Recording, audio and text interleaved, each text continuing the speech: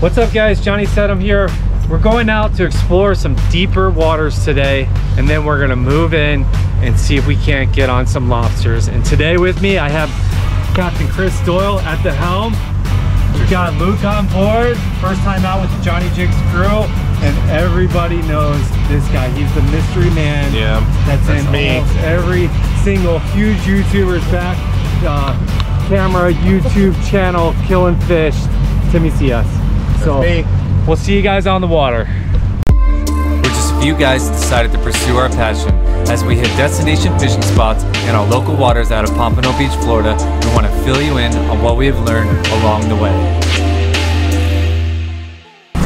So guys, if you're new to our channel, uh, welcome. Um, my name is Johnny Statham. This is my good friend Chris Doyle.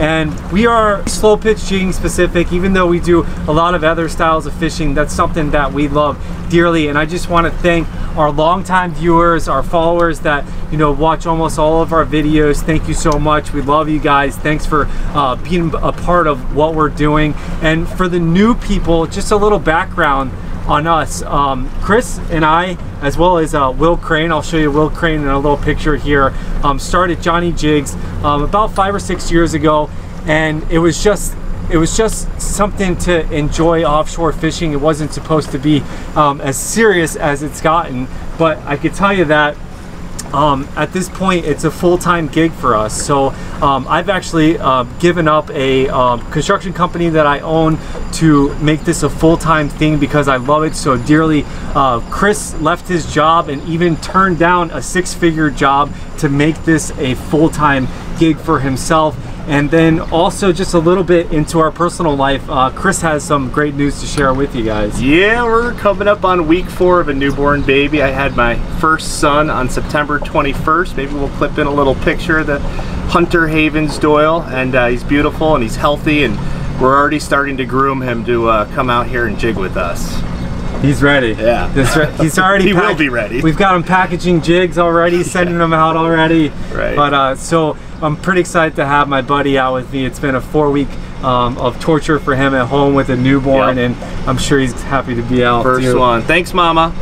uh, but uh, we're, we're, we're going out of our home inlet here, Hillsborough Inlet in Pompano Beach. It's actually been a, a while since we uh, since we did this and we came out here.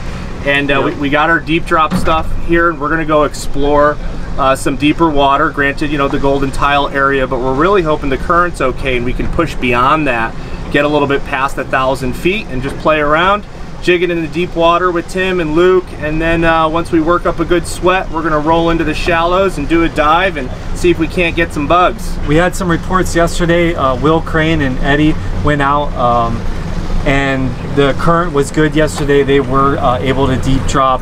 Um, the conditions were conducive to deep dropping, so that's our hopes for the day. So we'll see you guys on the water.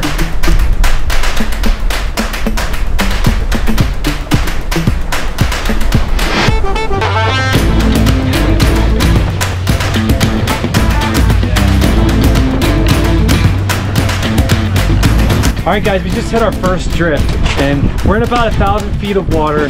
So our speed over ground is 1.6. We've got maybe like a six knot wind that is pushing us a bit east. So our drift is going to be slightly northeast. We're trying to hit a little ledge on the screen, and I'm actually going to put down an 800 gram jig to start off with. Um, I could go lighter. There's a possibility. Our speed over ground's pretty good, but I'm, I'm opting to go 800. I've got single hooks on the top and bottom. Um, I am going to go manual this morning with a Rage 90. This is a Power Gear reel, and then I have the uh, Ocean Legacy Elementus Deep. This this rod is actually rated up to a thousand grams. So if you guys want to check out any of this gear, it'll be in the link below. But in the meantime, I'm gonna see if I can trick some fish into thinking that this is actually edible. There's bottom, guys. That took a while to get down. But so traditionally, guys, slow pitch, you're gonna put the rod right across your forearm like this, and then you're looking for that slow unload of your rod tip going up. But I can tell you that a lot of us in deep drop scenarios, especially when we're doing it a couple days in a row, this can get tiring. It can get very tiring. So you can kind of switch it up, put it in your hip right here, and get that same unload. And really, you're just switching up to a different group of muscles in order to pull the jig and put a motion and action onto the jig. All right, guys, we just hooked up on the first fish, and uh, it was a very subtle hit on the bottom. Um, we had hope because Chris snagged up on the bottom, which means that we're on structure. Um, we can read the screen, you know, it's a dark red, which lets us know that um, we're on hard, hard bottom. But uh, this was a spot I was telling the guys I want to go hit. We tried out a few other things prior to that and then went ahead and moved over to this spot here. But I am still fishing the 800 gram all glow and this Elementus Deep really unloads well um, with the all glow and Chris actually behind me is fishing the um, Saltiga um, heavy extra heavy which is more of a traditional um, slow pitch outfit. This one's pretty close but I'm using shorter outfits than than normal. Um, I do like a long rod in deeper water for the sake that you get more movement on the jig. Um, but the shorter rod is a lot easier on your back so there's pluses and minuses to to using the shorter rod versus using the uh, longer rod um, I should be getting pretty close here um, like what, 400 feet? Manually cranking. I got power gear on, heavy jig. So um, I used single hooks. The reason why I use single hooks is I like to try and stay away from smaller fish, but it's not always the case. You know, sometimes you'll just get them, and that's that's just the way it goes. Uh, very curious to see what was on this um, structure down there because we've never fished this spot before. Got to be getting close, guys. Gotta be getting close. He's definitely giving me some head shakes on the way back up. Yeah. I'm gonna take it very gentle on him. As a matter of fact, I'm gonna back off. I might drag quite a bit. Um, that way when he pulls, he's allowed to just pull some line and not pull the hook. We don't want to pull the hook. We just want to pull line out of the reel. Big black, big black belly rosefish, guys big black belly rosefish. That is that is a that is a beast of a black belly rosefish, guys. That's about as big as they get, as a matter of fact. Dude, that that could possibly be a state record.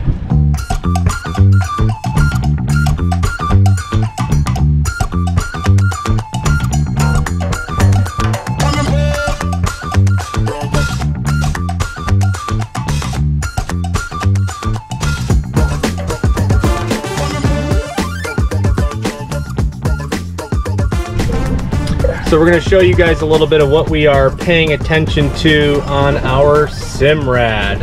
Uh, we have a split view going because we just have one screen here on the console on the helm. Uh, we actually have our second screen on the front of the center console so the guys on the bow that are jigging can also have eyes on what's going on.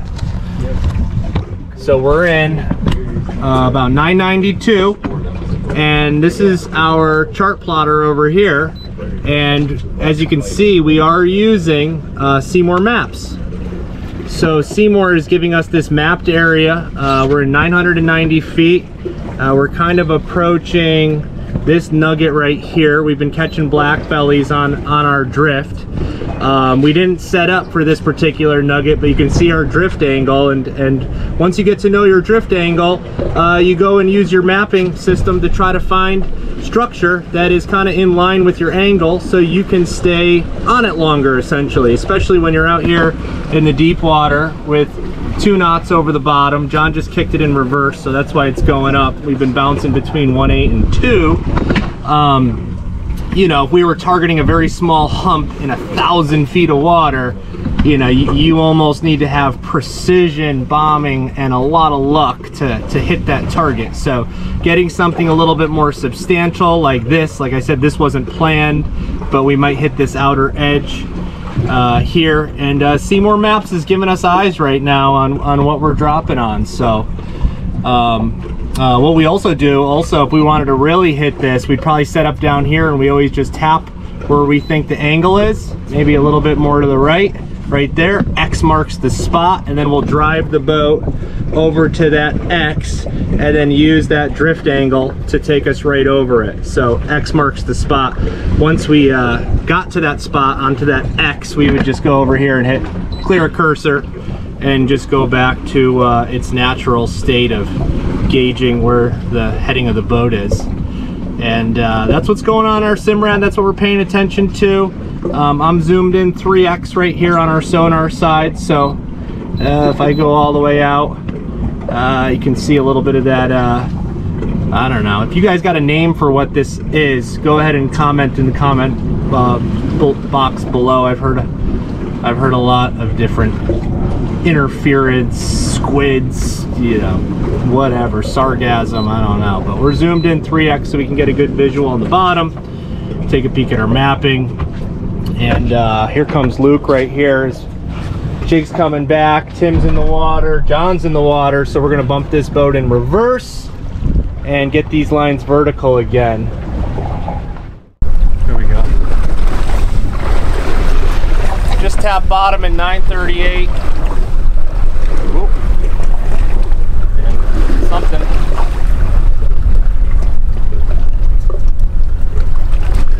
Rosie, that, that right there was most likely a blackbird belly Rosie strike. Couple bounces, and I got a 600 gram jig on. And so you, you feel, there, just bounced a little bit. Uh, you feel a 600 gram jig, which is what? It's a little over a pound. These black bellies rosies are, you know, one to two pound fish. And if you just did a couple jigs, you feel your jig, you feel your jig, and then all of a sudden your jig is like, all right, it's a little heavier. It's probably a black belly. We came out here, the four of us, Luke, Tim, Johnny, and myself, we actually made a game plan for two of us to put 600s on and two of us to put 800s on, um, just to just to make it happen. And so uh, I've got 15 pound test line on. I feel pretty confident I could bump down to 500 grams and be tapping bottom just the same because I have a 15 pound test braided line on. This is Daiwa J Braid Grand. I don't know what the millimeter is, but it's thin. It's like 0.17. And uh, it's doing really well for me, staying vertical, tapping bottom. That was a couple bounces, and we wanted to give you guys a little glimpse at this uh, extra, extra heavy Daiwa Saltiga rod, rated for 800 grams, um, working in the deep water. It's got a beautiful unload, and you really can fish up to 800 grams on it. Last little spot, I did have a pretty substantial wallop right on the bottom in like 875, and my braided line just pulled apart about 100, and, 100 feet down. It just went wham, fish, and then gone. Just guessing how that could have happened. You know, when I, when I, if I have a braid failure where it just pulls apart like that, braid was nicked, it was compromised. This is 15 pound test line, so it is not hard to do, and it's something that you're always concerned about. You want everything to be perfect, you know, out here. Timmy got something bigger back there. Go for it. Go Here we go. it. No, I want to see what you got. Then I'm gonna follow up with Tim. Timmy, see us? We see you, bro. We see you. What do you got, Chris? Here we go. We got color. Black belly rosefish. Definitely put him in the cooler, man, because I I can use some uh, black belly rosefish. Once But again, we've said it before. 600 gram jig, small little delicious black belly rosefish, but you guys saw it. I felt the strike. I even felt them bounce a little bit. 900 feet down, and it's just the sensitivity of the slow jigging gear, uh, which is just absolutely incredible to be that in tune with what's going on 900 feet down. Oh, and in case uh, you haven't noticed, we're gonna highlight this a little bit, but what you're seeing is, uh, if you're familiar with our torpedoes, we've had a blue and pink torpedo with a gold head. For some reason, when we first made it, we stopped at 250 grams. Well, now she's going all the way up to a thousand. And here's the 600 gram blue pink torpedo. You've seen it first right here. Whatever you want to do. So, one quick tip I wanted to share here. Uh, it's probably pretty important and worth and worth hearing. Um, we came out here and, and two of us chose to use 600 gram jigs. Two of us chose to use 800 gram jigs. We threw our jigs in the water. We're all tapping bottom. It's all working just well. On that first drop, I might have been uh, I might have been the third or fourth person in the water. I think I was fourth. When it was when it came time for us to all reel in, I had one of the 800 gram jigs had a hook around my line. When uh, that angler was pulling it up, we had to unhook my line. And then as we continued to come up, the other 800 gram jig angler had both his hooks on my line. And we pulled those hooks off as carefully as we could. And we went about um, the next drop saying, hey, let's make sure the two 600 gram guys drop first and the two 800 gram guys, the heavier guys, drop behind them to limit the risk of your 600 gram jig blowing into your 800 gram jig. Oh, I just missed him. I got you, Poppy. Yeah. Let's see if I can get it back in his face. Yep. Fish coming over the jet. That's a taco, Luke. Yes, sir. Yes, sir. First one on the jig. There you go. Hold them up. Let's uh, take, take get into this corner right here too, if you can. Take your time. You're good. Let's see what you got there, little black man rose fish. Yes, sir. First one on the 600 gram jig. Nice. You What- know, you know what happens whenever you catch your first black belly rosefish. What's You have to eat the eyeballs. Yep. Eat It's the just eyeballs. tradition. That's all. Right. I did just make that up, but it's I was about to say, every time I catch a new fish, someone's like, oh, you gotta eat the heart, you gotta eat the eyeballs. Yeah. You got to you got to floss your teeth with one of his spines. I would rather do that than the eyeball. So back to our chalk talk quick tip. the lighter jigs, if tossed after the heavier jigs, run the risk of getting blown into the heavier jigs because the heavier jigs are going to stick vertical better than a lighter jig. So I had hooks around my line in those in, on that first drop. So on the second drop, we said as a team, two 600 gram guys drop first, 800 gram guys go next. Our next three drops worked flawlessly. However, our last spot, as I was saying before, I hooked up pretty big and my braid just pulled apart. So the likely uh, scenario was that maybe one of those hook barbs nicked my line, allowed it to pull apart only about 100, and, 100 feet, feet down. I lost all that line, I lost the jig, and I lost what felt like a pretty incredible fish. And so uh, definitely something, you know, when you come out here to stay stay mindful of, you know, think about the game plan, think about what jig that your, your fellow anglers are, are using, and then you guys even discuss maybe executing something where the uh, lighter jig guys drop first and the heavier jig guys just funnel in the bot the right right behind them. There we go. Hey, Nice black one. belly. There's Tim. There we go, Tim. Ooh. I, did I call that or what? That looks That's a lot bigger. There bigger. go, bud. Here we go, Tim. You got the one, buddy. Oh yeah. Is that a good one, dude? Yeah. My man. A lot, lot heavier. Tim's tight. Luke just put a nice black belly rosefish on the boat. I think Tim's got something a little bit bigger. And we've also got Christopher Daddy Doyle. Daddy. Daddy Doyle. Who's your dad? You're Hunter. Hunters. I know. You know, I waited. I waited a very long time to be able to say that to my my two boys, uh, Jason and Eli. I would say, "Who's your daddy?" And my boys, they're like, You're our daddy. "Why do you keep saying that, Daddy? You know you're our daddy." I just want to know who's your daddy. now it's your turn. That's right. Very reminiscent of a There we go. Talk to me, Chris. Hey, we got a black belly rosefish. Pretty Stud. Yeah, he's a good one. That's why he's a little heavier.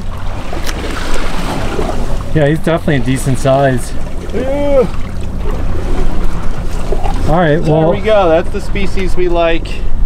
There's a fun trick too. That's why we love. They're not just split ring pliers, right? Grab these fish, you know, and I can do a nice, beautiful catch shot. I'm actually holding him with these pliers. We do all of our de-hooking with these pliers, and they're wonderful split ring pliers as well. He's he's a little pinker than the other ones, right? Scared me. Like he's not as he's not as red Yeah, yeah. looking, Yeah. but he's a decent size.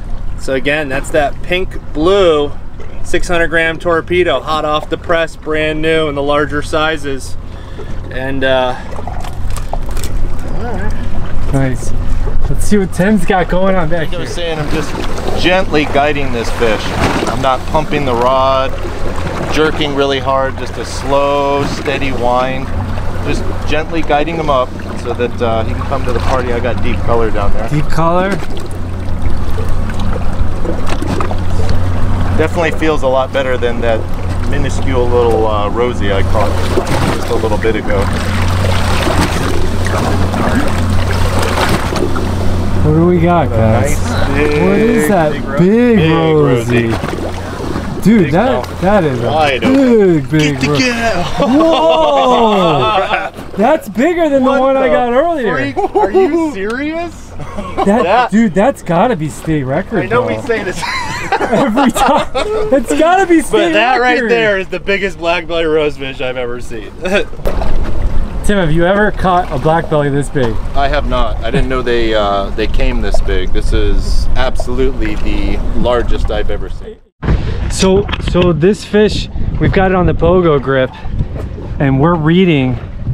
We got the wake rot dropping, but We're- say that that's the four. Wait, where- where's the Right four? there is four. Yeah, Where's is this line four? that's four. That's four. So then it's going to be just under four. It's going to be like three, four. seven, five, or you can see four. yeah, Yeah. and that's on the Johnny Jig 600 gram. But also, you'll notice he's got one hook on top, one hook on bottom, and the hooks are not. Um, they're not even as long as as as the assist cord's not even as long as the hook. So I want to say that that Tim definitely has a state record.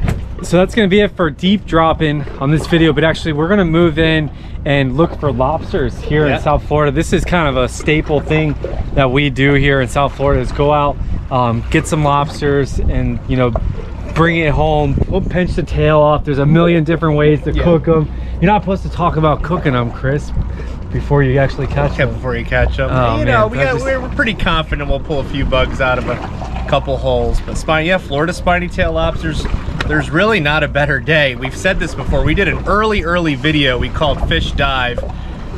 It did terrible in views, but man, we had a heck of a time and we got a whole bunch of bugs and there's not a better day going fishing, putting some fish in the box and then finishing it off with a nice cooling, refreshing dive. Yeah. And grab some lobsters to Um, bring home too. I'm ready to get in the water. Wow, we're at about a thousand fifty, and uh, we're gonna go down and get some some bugs.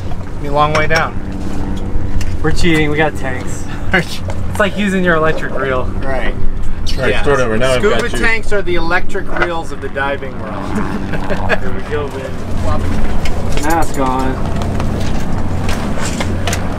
Air, air thing in mouth, very important.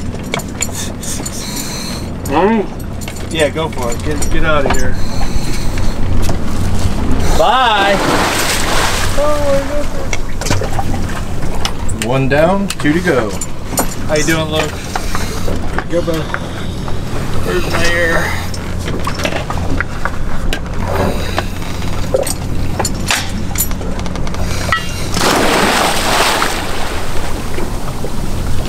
Chris, we're really far away from the balls. We gotta go way that way. Okay.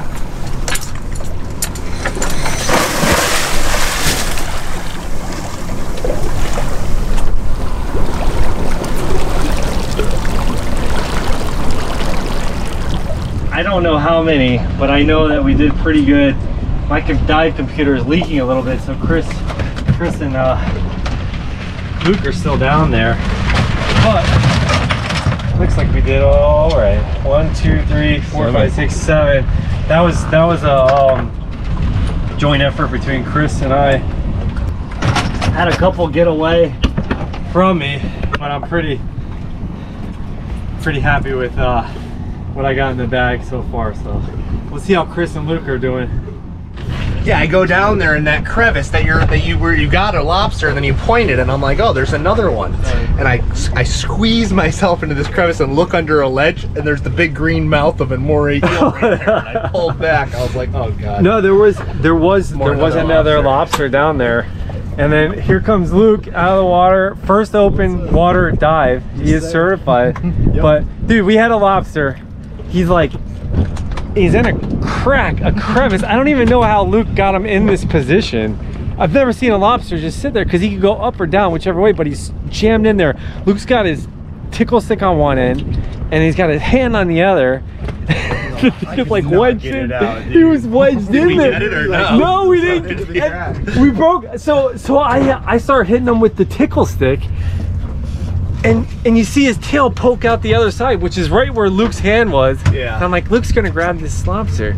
Luke's gonna grab it, and then it goes. I wasn't, trying, I wasn't sure what you were trying to get at, so I didn't want to like mess up what you were doing, get in your way. So I was sitting there like, do I grab it? Or do I just let him do his thing? oh, you oh. did all right, Doyle.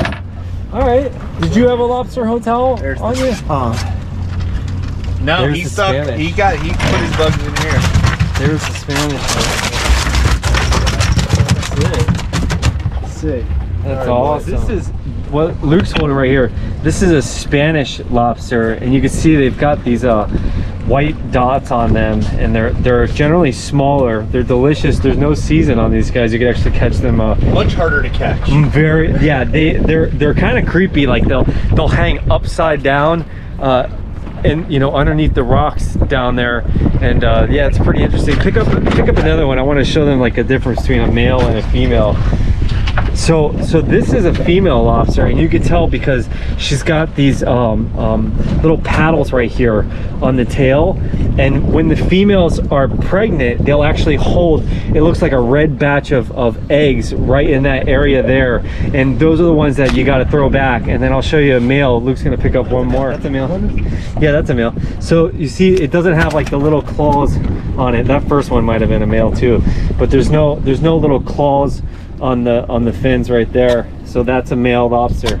But uh looks like we did good guys. We got one two three four five six seven eight nine 10 11 and then 12 including the uh the spanish lobster. So so that that's a fantastic dive you know just for a one tank dive um, i would i would dare to say that if we were doing two tanks today which is normally what we would do uh, we probably would limit out. So it's six per uh, person on the boat but i'm very happy with what we have here. It's more than enough for all of us to take home a couple for the fam.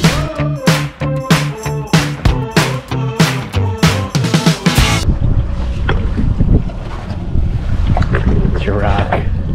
Guys i just want to dedicate this rock to willie biggs holding it down at the shop sacrificing so we can come out here and catch rocks from a thousand feet.